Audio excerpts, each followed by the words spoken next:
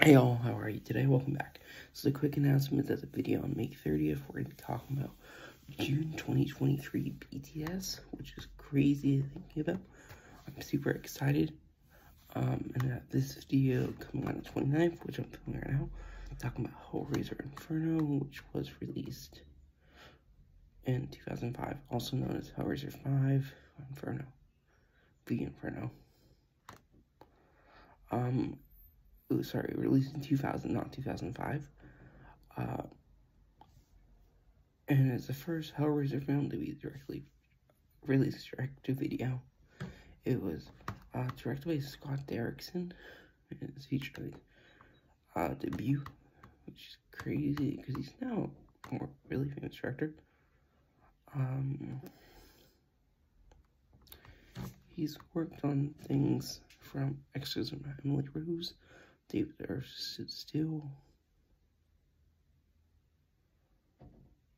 Uh, Sinister Deliver Us from Evil, Doctor Strange, Black Moon, an upcoming movie called The Gorge.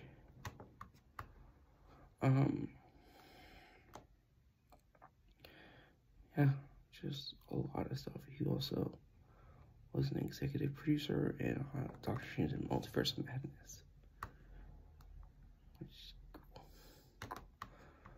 Um,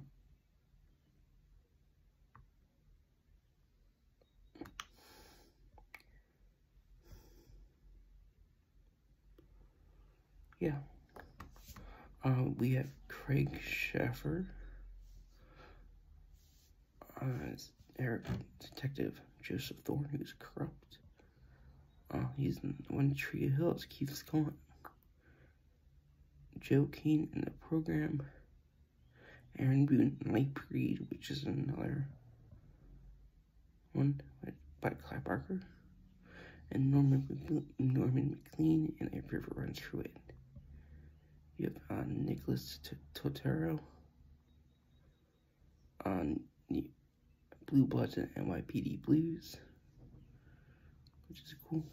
Uh, Doug Bradley is back as Pinhead. We have uh, James Remar known for uh, Ajax and the Warriors, uh, working against in 48 hours. Jack Duff and Miracle on 34th Street. Which is cool. Uh,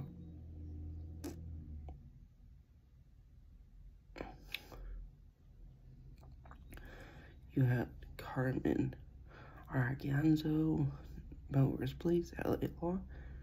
Uh, he played Jacob Carter on Stargate SG-1, which is cool. You have Kathryn Joosten,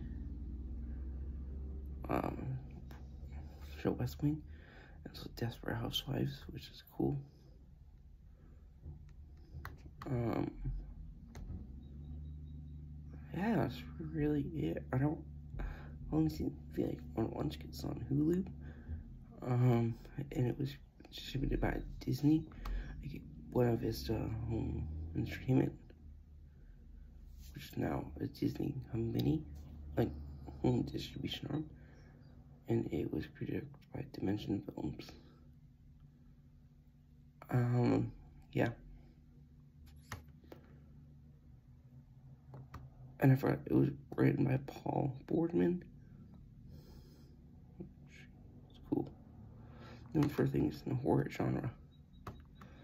Um, he's worked for things Dracula 2000, Urban Legends Final Cut, Messenger Scream 4, 2015 Poltergeist Archive 81. Which is cool. Um, the next Hellraiser film, number six, number Next film in the franchise, Hellseeker, released in 2002. I seriously hope y'all enjoy and bye-bye.